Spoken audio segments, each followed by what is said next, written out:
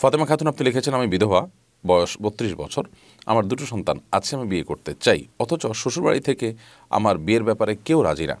আমি সরাসরি তাদের বলেছি বিয়ের কথা। তারা বলেছে, বিয়ে করলে সন্তানের সাথে আমার সম্পর্ক থাকবে না।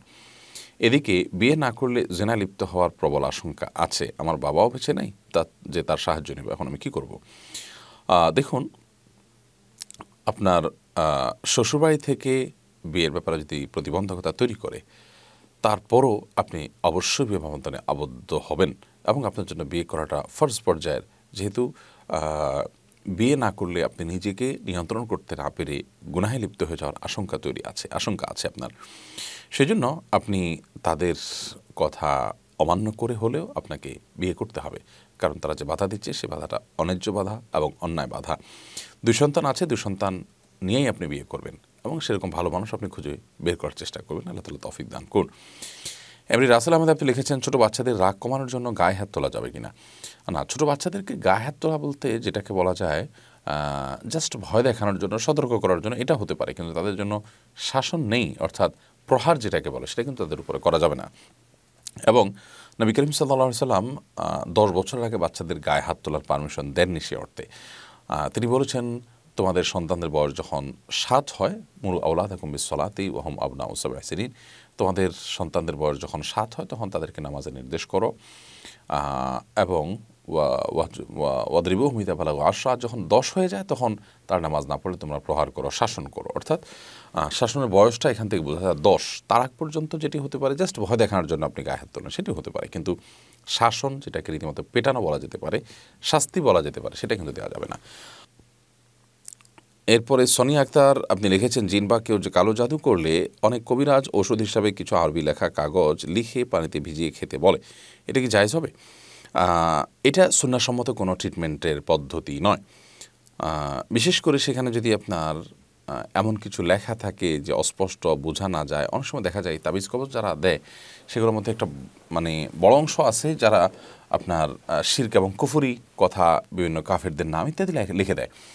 তো এগুলো তো রীতিমতো শয়তানের আশ্রয় নেওয়ার সামিল অনেক ক্ষেত্রেই।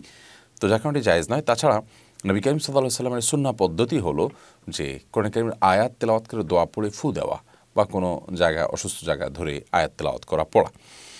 সেটা পানিতে বা তেলে ইত্যাদিতে আপনার ফু দিয়ে খাওয়া। এটা হলো নবী সাল্লাহ সাল্লামের সুন্না কিন্তু এর বাইরে এরকম আয়াত লিখে সেটা ভিজিয়ে খাওয়া বা পান করা, এরকম কোনো সিস্টেম নবী করিম সাল্লাহ সাল্লামের জীবনীতে ছিল না। না সাহাবিরা করেছেন, না খোলাফ রাশদায় করেছেন। এটা আমরা পরিহার করব।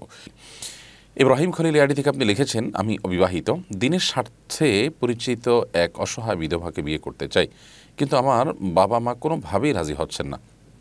সামাজিক প্রতিবন্ধকতা ছাড়াও তাদের ধারণা, বিধবা বিয়ে করলে আমি সুখী হব না। আমার বাবা মার উদ্দেশ্যে কিছু বলুন দয়া করে। বা ইব্রাহিম খলিল প্রথমত বিধবা বিয়ে করাটা এটা বিভিন্ন সাহাবিদের এবং নবী করিম সাল্লাহ সাল্লামের সুন্না যে তারা অসহায় মানুষের পাশে দাঁড়িয়েছেন। আমাদের সমাজে বিধবাকে, তালাকপ্রাপ্তাকে বিয়ে করার ব্যাপারে কুসংস্কারচ্ছন্ন ধ্যান ধারণা অনেকেই লালন করেন, সেটি ভুল। আপনার বাবা মাকে আপনি কোনো আলেমী দিন এর কাছে যদি নিয়ে যেতে পারেন যিনি চমৎকারভাবে তাদেরকে বোঝাতে পারবেন এবং তাদেরকে কনভিন্স করতে পারবেন, তাহলে সেটা হবে সবচেয়ে ভালো আপনার জন্য। আমরা আপনাকে সেই পরামর্শ দিব। সেই সাথে আমরা প্রত্যেকের কাছে আবেদন করব যে আমাদের সমাজে বিধবা তালাকপ্রাপ্ত যারা আছেন, এমনকি পুরুষদের মধ্যে যারা স্ত্রীহারা হয়ে গেছেন, তাদেরকে বিয়ের ব্যাপারে সমাজের ইতিবাচক দৃষ্টিভঙ্গি রাখতে হবে এবং তাদের বিয়ে এটা তাদের জন্য কল্যাণকর, সমাজের সকলের জন্য কল্যাণকর।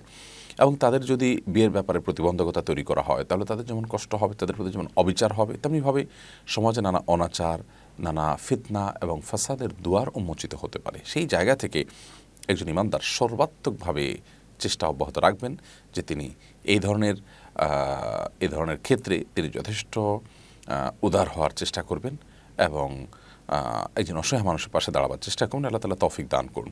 আকবর খান আপনি লিখেছেন, আমি কিছুদিন যাবৎ সালাতে অমনোযোগী হয়ে পড়ছি। এখন করণীয় কি? সালাতে মনোযোগ, সৃষ্টির যে আমলগুলো আছে সেগুলো করুন। আপনি সালাতে কী পড়ছেন সেটা বুঝে বুঝে পড়ার চেষ্টা করুন।